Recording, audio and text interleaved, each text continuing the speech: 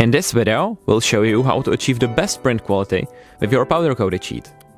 And we will also explain to you how to take care of the sheet so that it will last you a long time. Before you start printing, clean the surface with isopropyl alcohol. This should be done while the sheet is at room temperature, otherwise the alcohol will evaporate very quickly.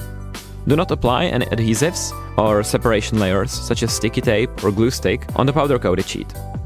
Also, definitely do not clean the sheet with acetone or similar chemicals. This would cause tiny cracks to appear on the surface, which could start peeling off over time. The powder coated sheet has a different thickness compared to the smooth one, so every time you switch to a different sheet, it's necessary to do a first layer calibration. A well-calibrated first layer can be recognized pretty easily.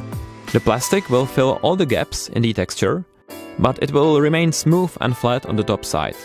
The correct z-value for this printer ended up being minus 1.3, but your value will probably be different.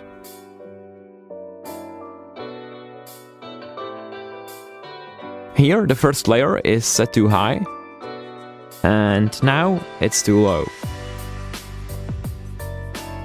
Perfectly calibrated layers will be smooth on the surface, and they will stick nicely to the sheet. To remove the object, wait until the sheet cools down. Then it should be very easy to remove it.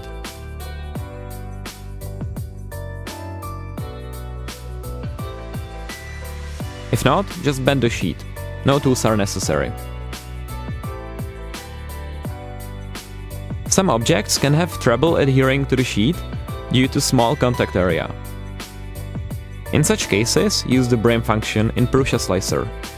Tick the box in the right menu, or go to Print Settings, and set the brim value to at least 3 mm.